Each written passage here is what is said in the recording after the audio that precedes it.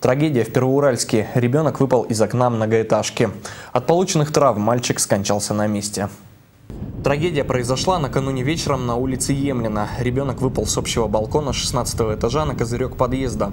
О причинах несчастного случая пока ничего не известно. Следственный комитет происшествия не комментирует. Напомню, на прошлой неделе также на улице Емлина из окна 16-этажного дома выпала девочка-подросток. Ребенок скончался от полученных травм в машине скорой помощи.